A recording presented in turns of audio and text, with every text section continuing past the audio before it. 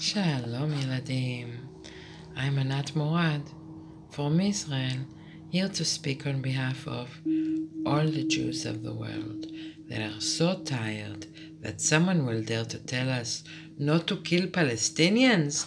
Are they mad?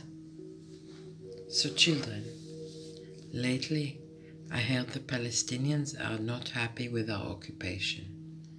I tell them to go find another occupation. They said they want no occupation at all.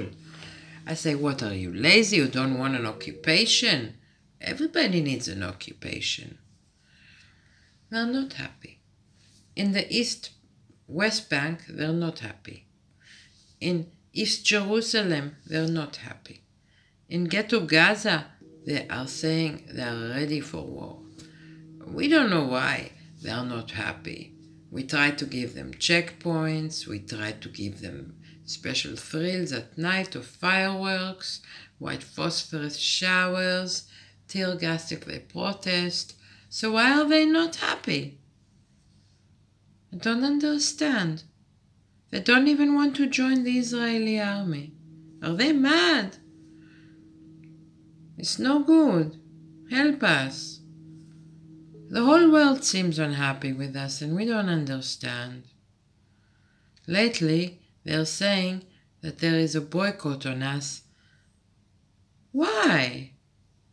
All we do is kill people, we kill children, we're brave. Why? I don't understand, children. Do you understand? Tell me. Leave me a comment. I don't understand.